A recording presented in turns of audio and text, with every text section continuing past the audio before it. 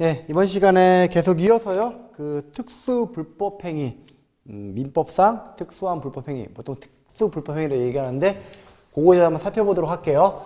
어, 지금 민법에 나와 있는 특수 불법 행위 같은 경우에는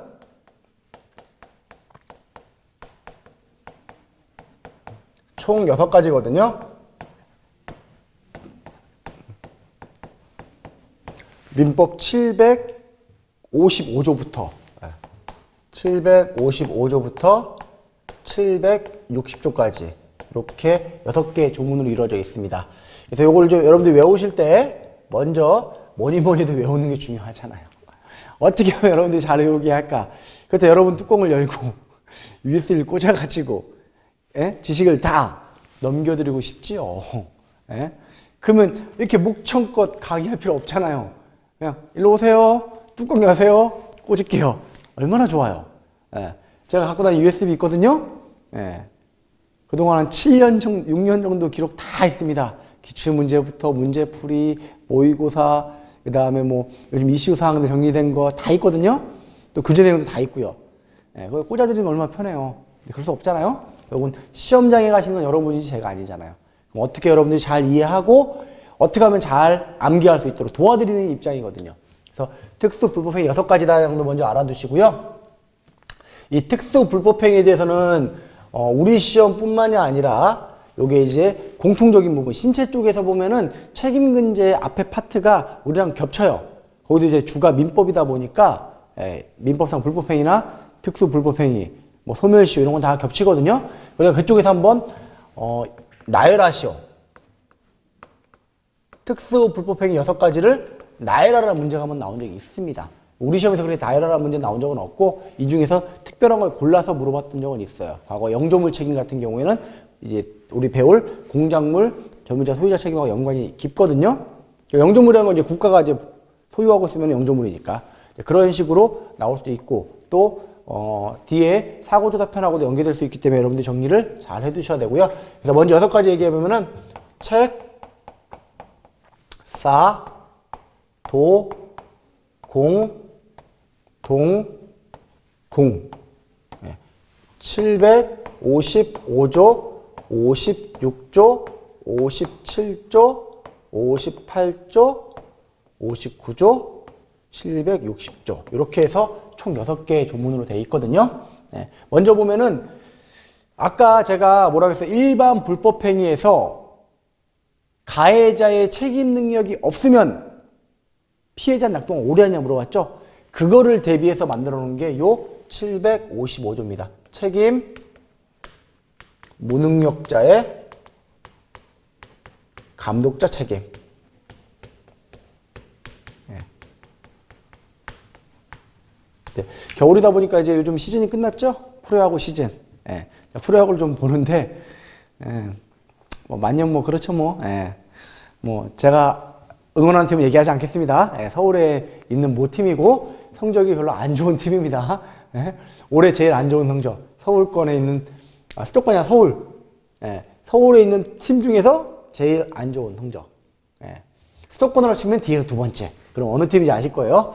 근데 제가 그 얘기 왜 하냐면은 꼭 비시즌에 보면은 사고를 쳐 누군가가. 그럼 언론에 나오죠. 단상에서 죄송합니다. 사죄 인사부터 하고 시작하는 게 누구예요? 감독님이 나와서 많이 하시죠? 네, 그런 걸 생각하시면 돼요. 아까 말한 대로 일반 불법행위에서 책임 능력이 없음으로써 가해자가 쏙 빠져나가죠? 그럼 감독자가 대신 책임을 진다는 겁니다. 감독자가. 네, 그래서 이제 책임 무능력자의 감독자 책임이 첫 번째다. 그러면 그 얘기하죠. 특히나 그 미성년자들, 이 중에서 아까 말한 대로 12세, 만 12세 이하는 문제 없지만 뭐 13세에서 14세가 좀 왔다 갔다 하고 15세 이상은 확실하게 있다라고 보고 있거든요. 그럼 13, 14세는 왜 법원이 왔다 갔다 했냐면은 본인이 가해자 본인이 재력이 있어. 그럼 물어주라 하는 거예요. 네가 책임 능력 있어. 네가 물어줘. 근데 얘가 10, 뭐 3세 뭐 10개월인데 돈도 없어. 그럼 넌 빠져. 니네 감독, 니네 부모님 와. 그래서 책임 능력이 없다라고 판시한 그런 예들도 있습니다. 이걸 뭐 여러분들 시험 문제에서 뭐 이런 경우에 책임 있냐 없냐 논하지는 않거든요. 여러분들 한번 이렇게 구분이 된다. 정도만 알아두시면 될 것 같고요. 그래서 이제 요 책임 무능력자의 감독자 책임 요건 요건은 좀 기억하세요. 요건은 다른 건다 필요 없어요. 일반 불법행위 있죠? 예. 행위 중에서 책임 능력 책임 능력이 없고 나머지가 다 성립이 돼야 돼요. 즉 일반 불법 행위에서 책임 능력을 제외한 나머지 세 가지가 성립이 돼야 됩니다. 이 세 가지가 성립이 안 되면 은 감독자가 대신 책임질 필요가 없죠. 예, 말했잖아요. 단지 책임 능력만 없을 때 감독님으로 대신 온다.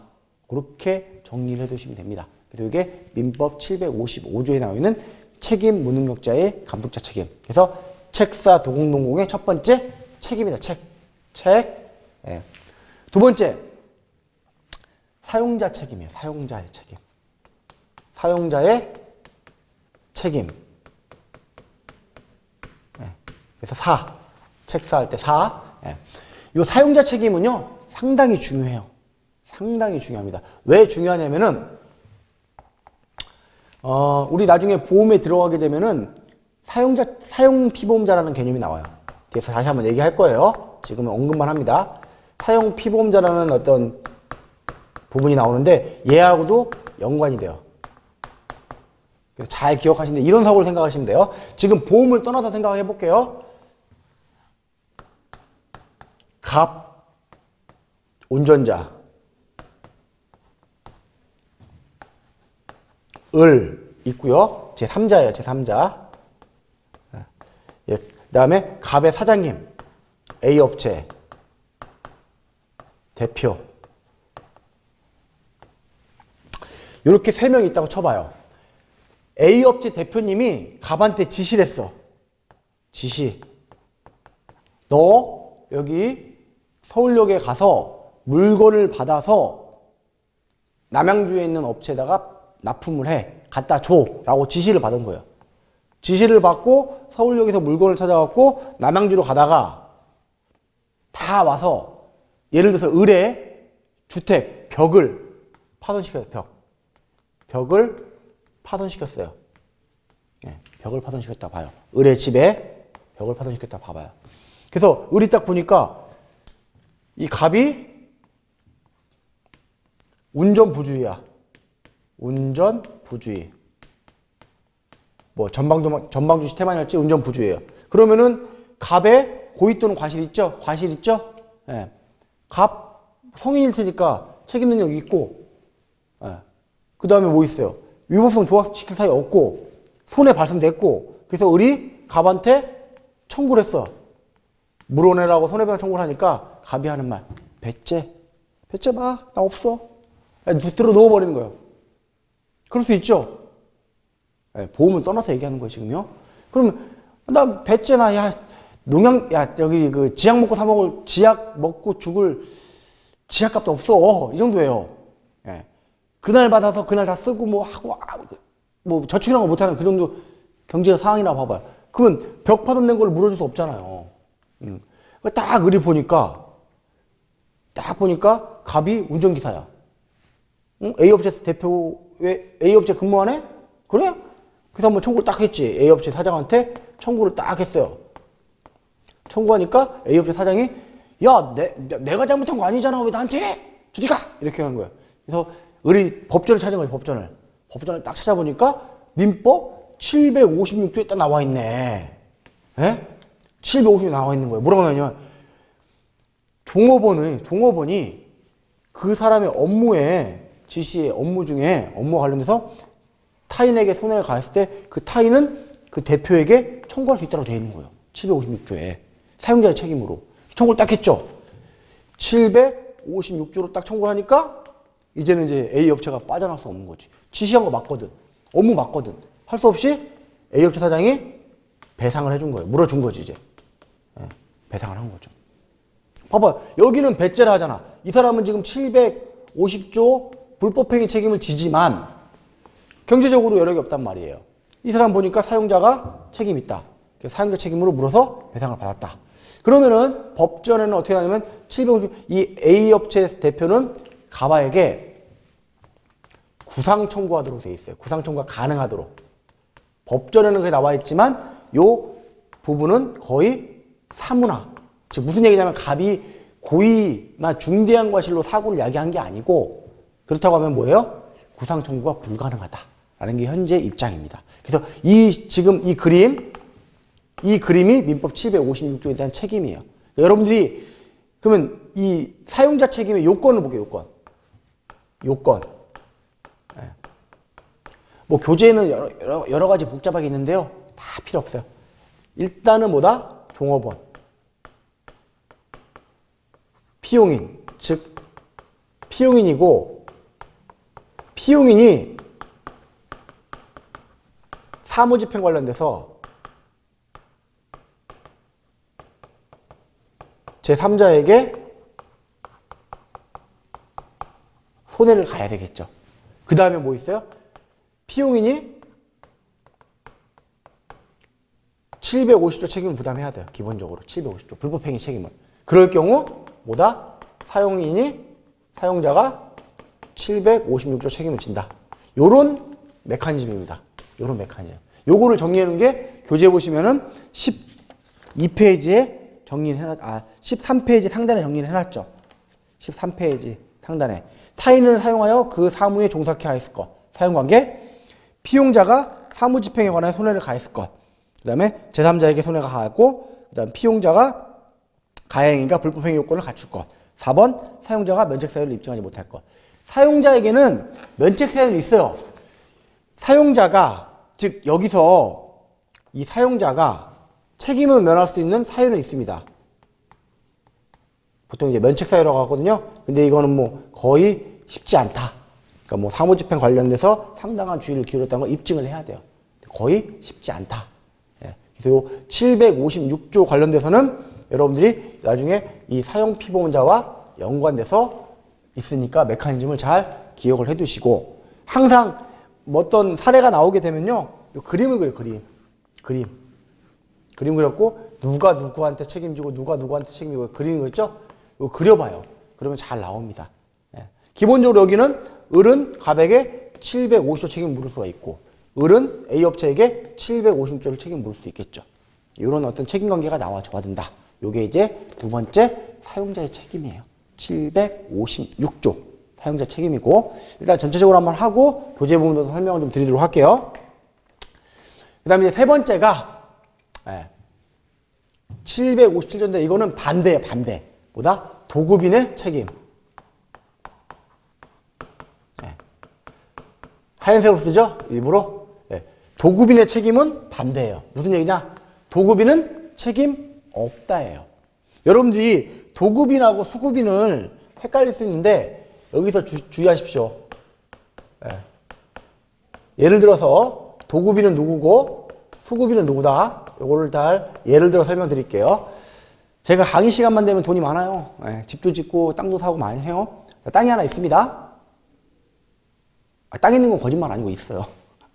예, 땅은 있고 예, 아직 건물을 짓지 않았고 예, 뭐, 뭐 손바닥만 하지만 있습니다. 예, 시골에. 예. 근데 제가 그 땅에다가 건물을 짓는다 생각해봐요. 제가 건축을 잘 모르잖아요. 그럼 어떻게 하겠어요? 건축업자한테 계약을 맺겠죠. 그걸 보통 이제 우리가 도급계약이라고 해요. 도급계약. 도급계약을 딱 맺습니다. 도급계약을 맺을 때 1. 도급인 2. 수급인 이렇게 돼 있죠. 그럼 도급인 누구냐? 김광준 수급인 땡땡 건설 주식회사 이렇게 맺어요. 즉 도급인은 저예요. 도급인은 도급을 주는 사람이에요. 수급인은 받는 사람이죠. 결국은 제가 짓는 게 아니라 제가 업체에게 맡기는 거죠. 그러면 도급인은 누구예요? 저잖아요. 그러면 도급인은 책임 없다예요. 언제? 일반적일 때. 일반적일 때 도급인은 책임 없다예요. 근데 제가 만약에 건물을 짓고 싶은데 예, 건물이 될지 안 될지 모르겠어요. 예, 원래 제 목표는 아시는 분은 아닐 겁니다. 4층짜리 건물을 지어가지고 예, 1층에는 예, 약국 예, 여기는 아직 희망이 좀 남아있어요. 약국 들어올 거는 2층에는 병원 예, 이게 좀 흔들려요. 3층에는 변호사 사무실. 예. 4층에는 예. 손사 법인. 이렇게 제가 이제 목표가 있습니다. 목표가. 예, 목표라고 했죠? 예, 저희 꿈이에요, 꿈. 드림. 예. 약국은 누가 하냐? 예, 우리 딸. 예, 딸 시키고 병원은 원래 예, 이게 원래 아들인데 이게 흔들려요. 이게 흔들리고 있습니다. 예, 여기는 뭐 사위 시키면 되고 예, 사위 또는 며느리 예, 이렇게 시키고 여기는 예, 제가 하면 되죠. 이렇게 하는 게 꿈인데 이런 건물을 짓는다 생각해요. 이런 건물을 예, 건물을. 근데 제가 저 같은 성격에 이런 건물 맡겨놨으면은 그냥 돈만 주고 나중에 다 지으면 가서 볼 수도 있겠죠. 예, 볼 수도 있겠죠.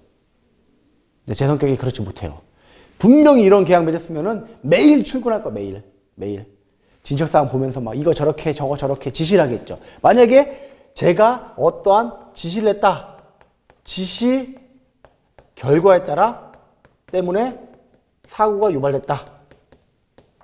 이럴 경우에는 도급인이 책임 있다. 이렇게 되어 있어요. 이 도급인의 책임에는 그렇게 나와 있습니다.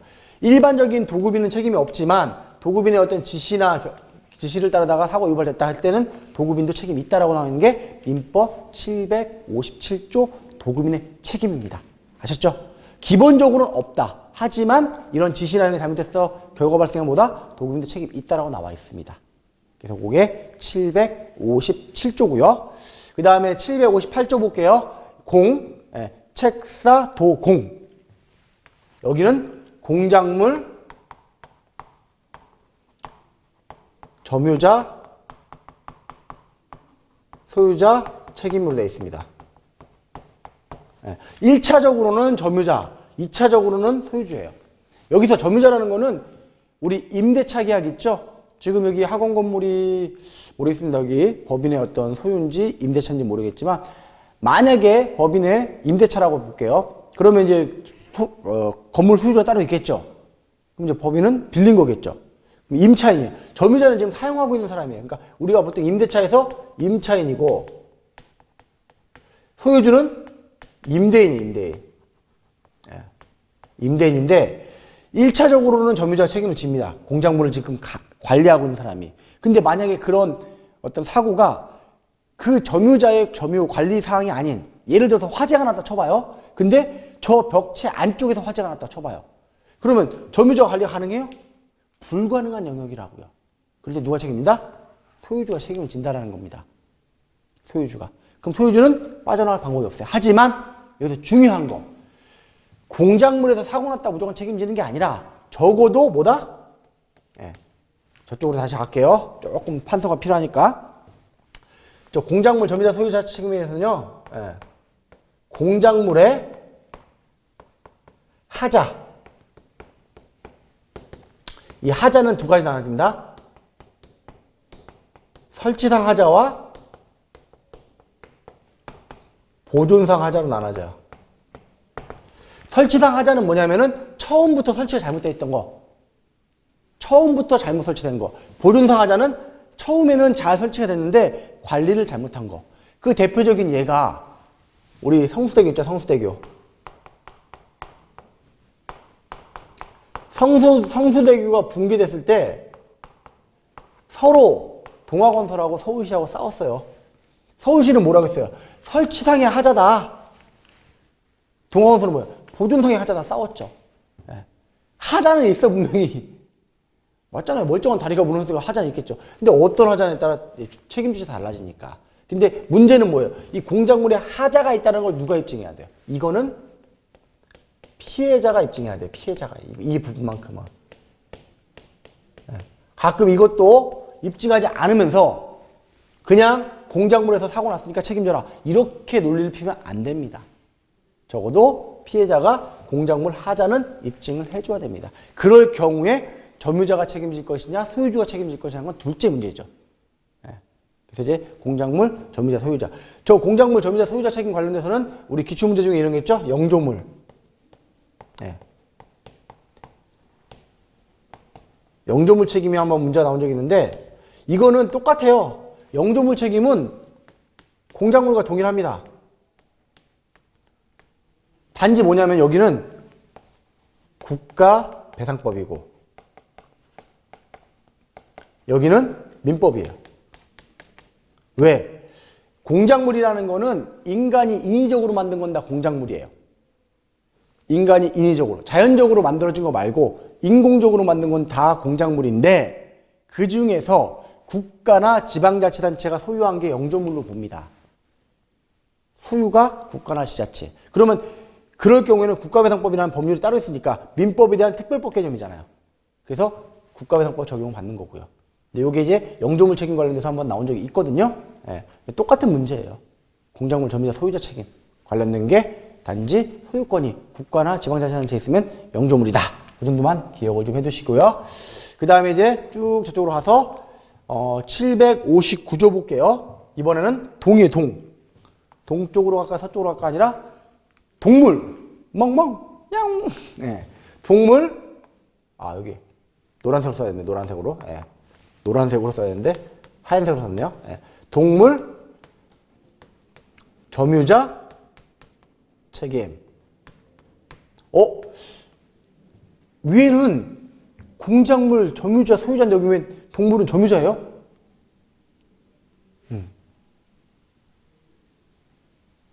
응? 빠진 거 아니에요? 생각하는데 뭐 모르겠어요. 요즘 뭐 우리가 이제 식용으로 먹는 소랄지 뭐 이런 거는 바코드로 해서 생산자들이 이렇게 표시를 하지만 예, 이 지금 강의를 듣고 있는 분 중에 반려견 키우시는 분이나 반려묘 키우시는 분 있죠? 예, 분명 있을 거예요. 없다고요? 예, 키우세요. 예, 그러면 만약에 생각해봐요. 강아지 등짝에다가 땡땡땡 거다고 인두로 딱 지져봐요. 그럼 여러분 어떻게 해요? 잡혀가요. 동물 학대죄로 맞잖아요. 예. 요즘 뭐 인식칩 넣고 하지만 기본적으로 어떻게 해요? 동물에다가 그런 거 하는 거는 가, 그 학대행위 할 수 있다고요. 예. 그래서 실질적으로 그 동물을 관리하고 있는 사람이기 때문에 점유자만 해당이 됩니다. 점유자만. 예. 만약에 점유자를 확인할 수 없다면 뭐 소유주가 책임지겠죠. 예. 하지만 예를 들어 반대의 경우에요. 우리 집 강아지를 잊어버렸어요. 우리 집 강아지를. 뭐 누가 도만, 도, 어, 데리고 왔든지. 그러다가 1년 뒤에 있다가 그 강아지가 사람을 물어서 나중에 잡아놓고 보니까 있어 우리한테 연락 왔다. 내 책임진다? 안 진다는 겁니다.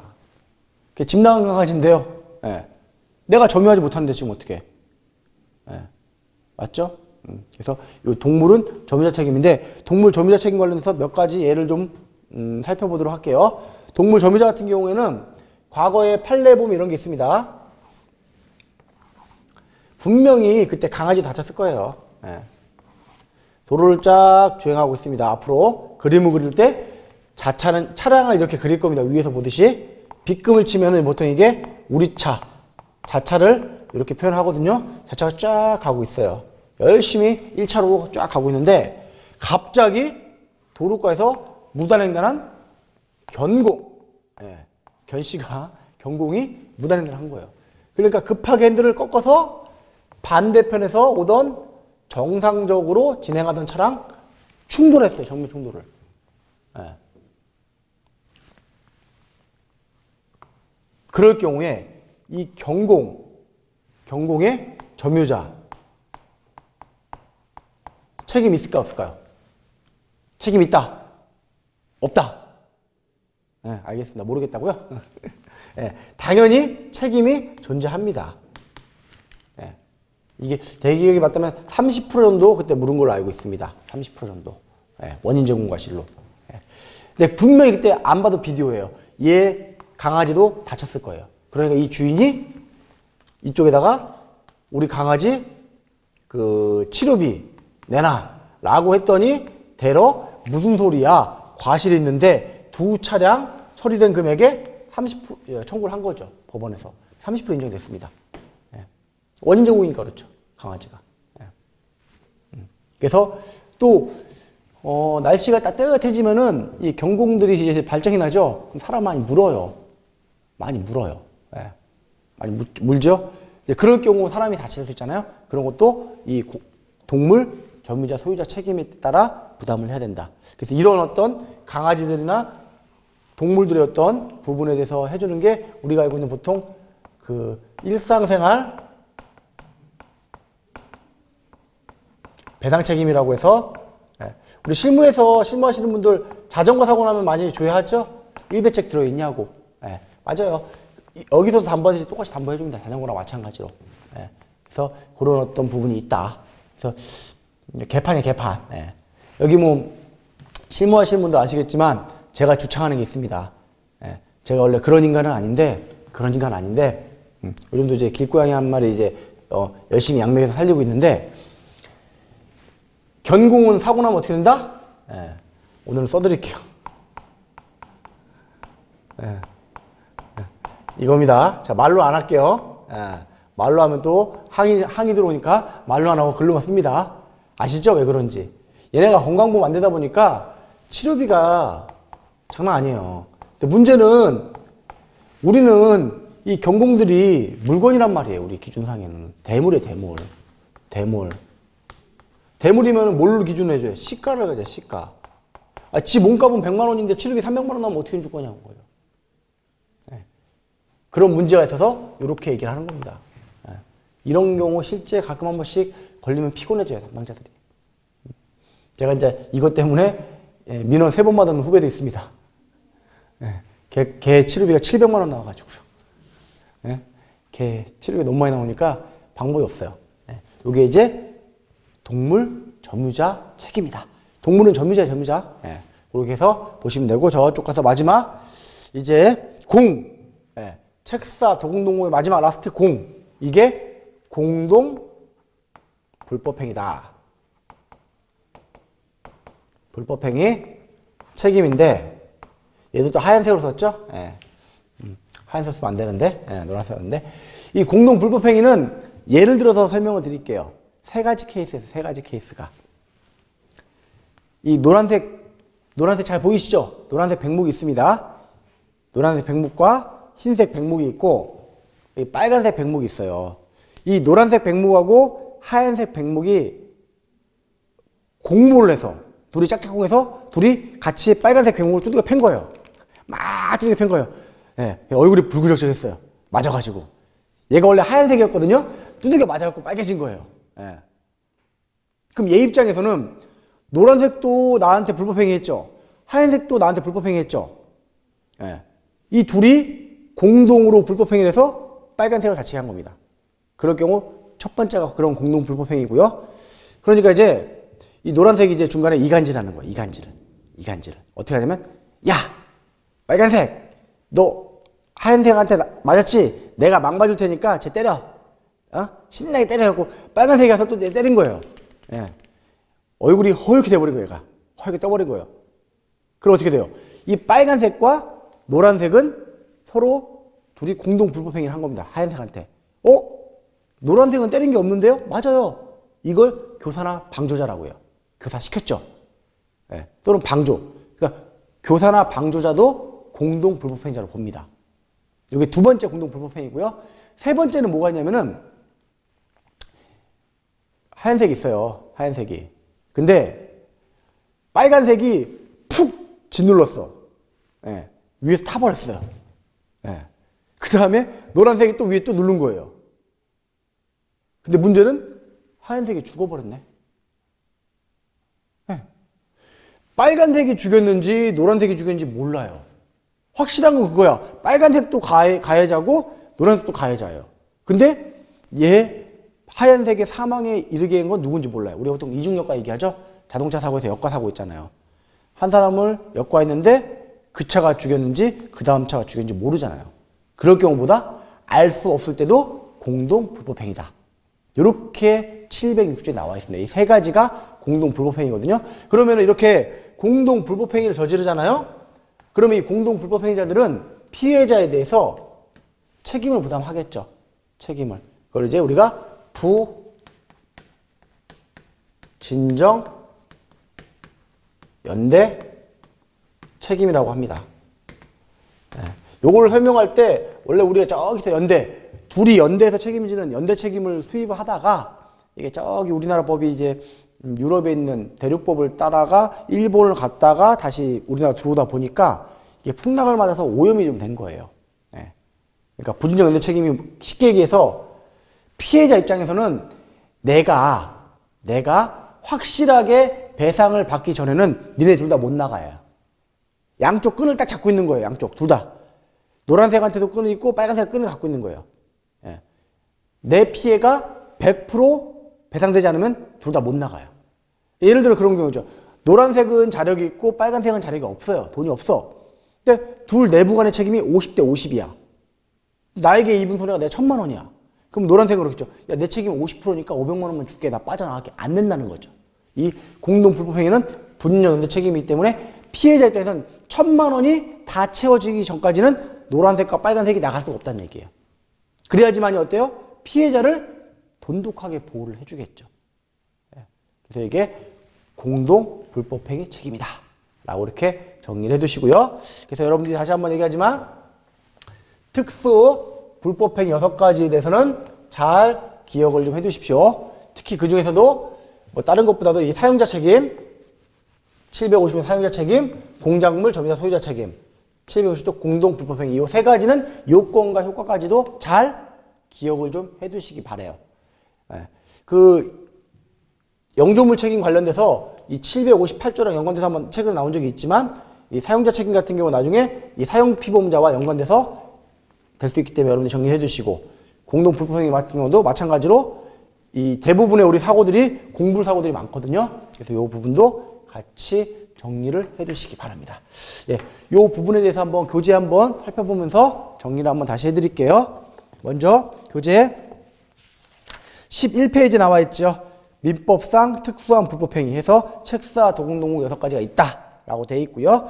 그 11페이지 중간에 보시면은 민법 755조 책임 무능력자의 감독자 책임에 대한 조문이 그대로 나와 있습니다. 그리고 그 다음 기, 그 다음 페이지에 보시면은, 어, 뭐가 있냐면은, 아까 저기서 말했다시피 책임 무능력자의 감독자 책임은 피해자에게 책임 능력이 없어야지만, 없어야지만이 성립이 되거든요. 예. 책임 능력이 있으면은 절대로 755조 적용을 못 해요. 그러면은 가끔 억울한 경우 있죠. 그러다 보니까 법원에서는 보충적으로 감독자에게 책임을 묻는 경우가 있어요. 하지만 이때도 755조로 책임 묻는 게 아니에요. 설명 드릴게요.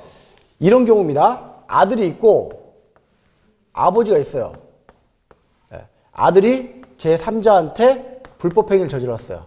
불법행위를 제 3자한테.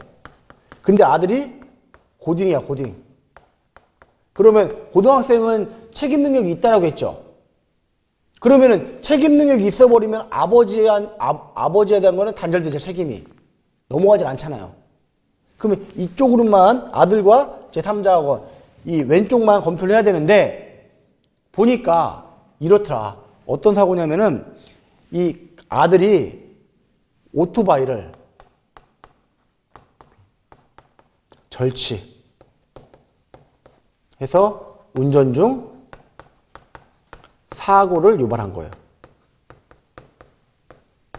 그러면 월칙은 아들이 책임을 져야 되지만 과거에 보니까 유사한 사고가 있었더라. 유사 사고가 존재한다. 그럼 어떻게 해요? 부모 입장에서는 아들이 앞에 똑같은 사고를 쳤어요. 그러면 더 관리 감독을 잘해야 돼요? 못해야 돼요?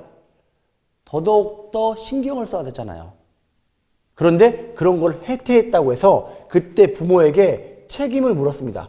부모에게도 책임이 존재한다고 법원은 판시했습니다. 근데 이때 책임 존재 근거, 근거는 절대로 755조가 될 수 없다예요. 네, 책임 능력이 있으니까. 그래서 보충적 책임으로 해서 뭘 적용했냐면 이때는 근거를 750조 일반 불법행위로 해서 인정을 했습니다. 일반 불법행위로 부모에게 책임이 있다라고 했던 그 부분이 12페이지 상단에 있는 인정한 사례고요. 네, 밑에 또 부정한 사례도 있습니다. 17세 9개월 된 미성년자예요. 얘는 면허를 취득했어. 네. 뭐 부모가 관리 감독할 게 없잖아요. 면허 취득했는데 나라에서 주는 면허가 갖고 있는 친구인데 걔가 운전하다가 사고를 낸 거예요. 그럼 17세 9개월이면은 뭐 책임 능력 있잖아요, 자기가. 그럼 본인이 책임져야지. 본인이. 그래서 법원에서는 부모의 책임을 부정한 사례입니다. 예. 여기서 한 가지 주의하실 건 겁니다. 가해자가 책임 능력이 있으면은 절대로 755조 적용은 할 수가 있다 없다? 없답니다. 하지만 보충적으로 보충적으로 750조 적용은 가능하다. 이건 case by case예요. 근데 한 가지 절대로 755조 적용은 불가능하다. 요거 딱 머릿속에 기억해 두십시오. 755조를 적용하려면은 뭐예요? 가해자에게 책임 능력이 없어야지만이 가능하다. 없어야지만이. 네, 그렇게 정리해 두시면 되고요. 그다음 그 밑에 사용자 책임 있죠? 756조. 그래서 그 13페이지 중간에 보면은 그림을 그려놨죠? 운전자와 소유자와 제3자. 예, 요 메커니즘 아까 저 그림하고 또 동일합니다. 잘 기억해 두시고요. 그 다음에 13페이지 하단에 보시면 도급인의 책임. 도급인의 책임 있다 없다? 없다. 그 대신에 뭐 있습니까? 그러나 도급 또는 지시에 관하여 도급인에게 중대한 과실이 있는 때에는 그러하지 않다. 즉 도급인이 아까 제가 말했잖아요. 뭐 맡겨놓고 저는 매일 가서 이거 해라 저거 해라 이거 해라 저거 해라 막 할 거라고 했죠. 그럼 저 같은 경우 뭐예요? 책임을 진다는 얘기죠. 그런 어떤 결과에 따라 또는 지시나 이거에 따라 발생했다면 뭐다? 책임을 부담한다. 예. 기억하세요. 도급인은 책임 있다 없다? 없다가 원칙이고 그러나 어떤 도급이나 지시에 의한 중대한 과실이 있을 경우는 어떤다? 책임을 부담한다. 그렇게 정리를 해두시면 될 것 같습니다. 그 다음 페이지 보시면 14페이지에 공작물 등의 점유자, 소유자 책임이에요. 그래서 점유자가 몇, 1차적, 그 다음에 2차적으로 소유주. 즉, 이 공작물 하자에 대해서 누가 입증해야 된다? 피해자가 입증해야 된다.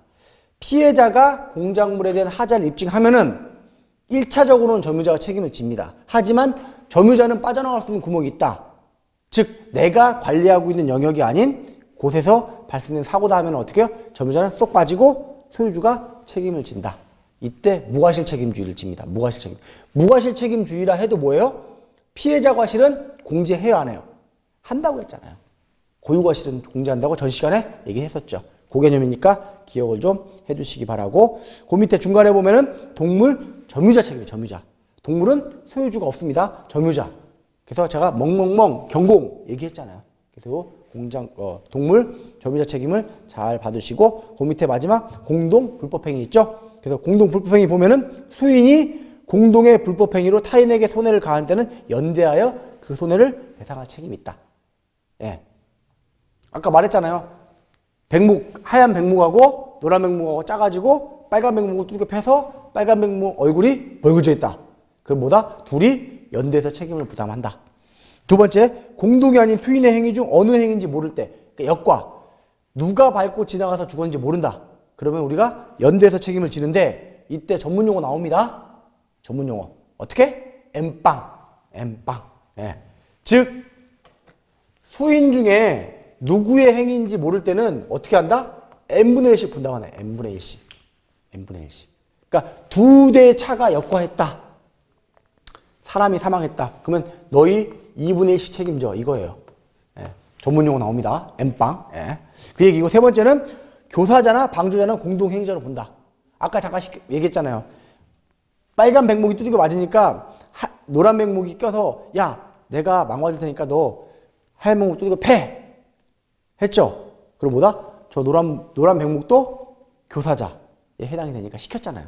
그러니까 공동 불법 행위자다. 그 얘기를 드렸고요.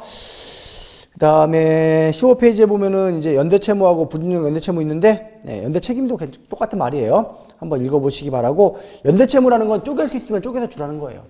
네. 이거는 그 채무의 형태가 쪼갤 수 있는 거면 쪼개서 되면 돼요. 하지만 이 공동 불법행위 같은 경우는 절대적 효력, 즉, 피해자에게 피해가 다 배상이 돼야지만이 업소멸이 가능합니다. 예, 그래서 그 부분이 있으니까 여러분들 한번 읽어보시기 바라고요. 이러한 지금 얘기했던 이런 공동 불법행위와 일반 불법행위의 요건이 모두 충족이 되면 효과가 발생되죠, 효과가. 예. 잠깐 전 시간에도 얘기했죠, 효과. 즉, 뭐예요? 손해배상 청구죠. 예. 그 다음에 손해배상 청구 관련돼서는 그 15페이지에 나와 있죠. 이때에 손해배상 청구할 때 손해배상을 해주는 방법 뭐 있어요? 우리 민법에는요. 금전배상이 원칙이에요. 금전배상. 이것 때문에 현재 자동차 부분 약관에 보면은 우리가 원래 지금 약관을 개정할 때 자차 어때요? 자차 나중에 얘기 다시 한번 얘기하겠지만 단독 사고 시에는 미수성 금지입니다. 예. 원래 대물도 미수성 금지하려고 했거든요. 근데 이게 안 돼. 왜 안 되냐면 이것 때문에 그래요. 금전배상의 원칙이기 때문에. 우리 민법의 원칙이 금전배상의 원칙이에요. 금전배상. 예. 이거를 아예 못하게 해버리면 금전배상의 원칙이 깨져버리겠죠. 법을 위반하는 거예요, 약관이. 그래서 금전배상의 원칙이기 때문에 15페이지 하단에 있는 민법에서는 이제 그 부분 때문에 약관이 대물배상에 대해서는 미수선 소리를 금지할 수 없는 근거입니다. 그 다음 페이지에 보시면은 뭐 예를 들어서 몇 가지 있습니다. 원상회복 같은 경우도 있습니다. 우리 여러분들 명예훼손 같은 경우 어때요? 뭐, 벌- 뭐 손해배상금도 주겠지만 뭐 사제 광고를 한다든지 이렇게 하죠. 이런 예외적으로 원상회복을 명령하는 경우도 있고요. 그 다음에 이제 손해배상의 범위 관련돼서는 어때요? 아까 말한 대로 통상의 손해를 범주로 해서 하도록 돼 있죠. 그 다음에 세 번째는 과실상계. 그 즉 피해자에게도 부주의가 있으면 빼라는 겁니다. 예, 피해자에게도 과실상계 뒤에 가서 또 우리 보험편 갔을 때 다시 한번 말씀을 드리고 뭐 손익상계는 어떠한 행위로 인해서 손실과 이득을 같이 봐요. 이득을 봐요. 그럼 그 이득만큼은 빼주겠다는 얘기예요. 근데 뭐 거의 일반적인 불법행위에서는 이런 손익상계 문제가 발생되지 않겠죠. 예. 그래서 그런 게 효과다. 정도를 알아두시고요. 그럼 이런 효과가 발생이 됐다. 그럼 이 효과가 천년만년 가냐? 예. 죽을 때까지 가냐? 아니라는 거죠. 죽을 때까지 갈 수가 없다. 그래서 여기서 나오는 게 뭐다? 어, 소멸, 시효. 소멸 시효에 대한 문제가 나옵니다. 소멸입니다. 소멸 시효. 즉 법에서는 이러한 청구할 수 있는 권리를 천년만년 보장하는 게 아니라 일정 기간으로 제한을 합니다. 만약에 여러분들 이 소멸시효 제도가 없잖아요? 예. 그럼 여러분들 외상거래했던 거 다 영수증 다 보관해야 돼요. 집 방학하는 영수증으로 도배를 해야 돼요. 예. 어떤 경우냐? 내가 만약에 대학교 다닐 때 학교 앞에 식당에 자취하면서 외상으로 해서 밥 먹고 한 달에 한 번씩 결제해준다 쳐봐요. 그럼 내가 밥 먹은 거 사인 해놨어. 근데 밥값을 갚고 나서 사인 안 받아놓은 거야. 한 10년 만에 이제 학교 앞에 들어가서 어유 반가워서 그 식당 가니까 사장님이 아주머니가 또 오시더니 야 반갑다 하면서 야 맞다 너 그때 장보에 너 외상값 안 갚았지? 디비면 어떻게 할 거예요? 그 영수증 없으면은 다시 갚아야죠. 이 소멸시효가 없다면요. 있다면은 끝났지 벌써. 10년이나 시간이니까 지났죠. 예. 그래서 이 소멸시효는 상당히 중요한 요, 소, 어, 요소입니다. 그래서 그동안 이 소멸시효가 주- 중요하지만 뭐 여의도에 계신 분들이 조금 싫어하셔갖고 안 낼 줄 알았더니 한 번 냈습니다. 예, 이 소멸시효를 예, 깜짝 놀랐죠. 깜짝 놀라서 한번 나온 적이 있습니다. 소멸시효 제도가 그래서 한번 정리해 두시고 요게 어, 몇 년도 나냐면 전년도에 나온 걸로 기억을 하는데 여러분들 교재 음, 300, 몇 페이지냐? 어, 352페이지에 보면요. 41에 7번 문제 있거든요. 그때가 소멸시효 기산점. 그러니까 소멸시효가 무엇인지, 소멸시효 기산점, 소멸시효의 완성 기간별 주요 유형들. 이렇게 물어본 적이 있거든요. 좀 교재에 있는 내용 그대로예요. 그대로 나왔습니다. 그래서 그 소멸시효를 물어봤고, 이제 뭐 기산점이나 유형별 기간들을 물어봤거든요. 그래서 소멸시효는 쉽게 얘기해서 그거예요. 권리 위에 잠자는 자를 보호하지 않겠다는 겁니다. 즉 자기가 권리가 있는데 그 권리를 청구하지 않고 일정한 기간이 지나면은 그 권리를 소멸시키는 거예요. 즉 이 권리를 소멸시키는데 없애는데 어, 이후 장래가 아니에요. 장래. 장래에서 없애는 게 아니라 소급해서 처음부터 없는 걸로 만들어 오는 거예요. 처음부터. 이렇게 만들어 버리는 게 소멸시효입니다. 예. 이 기산점은 어디다? 이게 일반적으로 권리를 행사할 수 있을 때 우리 자동차 보험 같은 경우에는 대물과 자차의 보험금 청구 시기와 일치한다고 보시면 됩니다. 그래서 이거 연계해서 같이 한번 정리해 두시고 그러면은 소멸시효는 뭐 최근 나왔으니까 동일하게 나오기는 힘들고요. 그러면 소멸시효라는 게 국방부 시계냐? 예. 갑자기 뭐 왜 국방부? 예. 아니 국방부 시계는 전쟁이라도 가요. 맞잖아요. 쭉 가잖아요. 그건 아니라는 거죠. 이 소멸시효 제도가 있지만 소멸시효 우리 일반 불법행위는 3년이거든요. 3년이지만 이 시효를 중단시키는 사유가 있고 정지시키는 사유가 있어요. 예. 중단이라는 건 뭐냐? 스톱워치 리셋이 리셋. 다시 시작. 즉, 쭉 가다가 3년인데, 요 시점에 어떤 사유가 딱 발생이 돼. 이벤트가 발생이 되면 다시 여기서 3년이에요. 요게 중단 개념이고. 예. 정지 개념은 쭉 가요.